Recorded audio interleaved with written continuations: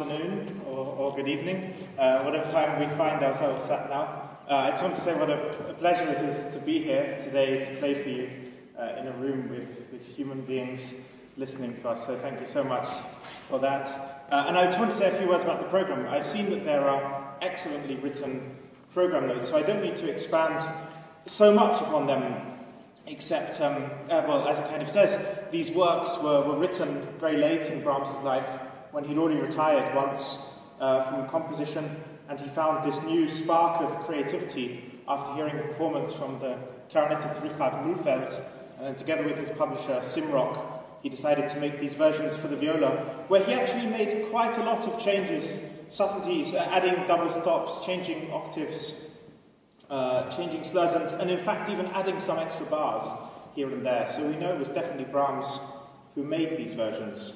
Uh, so in between these two uh, works written by a, a very old man, uh, we, I rather, will play the Elegy by Benjamin Britten, which was written when he was just 16 years old. And I find this piece particularly relevant uh, now. It's a kind of very lonely soliloquy which was written just the day after he finished high school in August 1930. Um, and I, I think this piece expresses a lot of feelings of, of loneliness and, and sort of angst, which we've all experienced, particularly over the last year. And, uh, and then we'll finish with the beautiful autumnal E flat piano sonata by Brahms.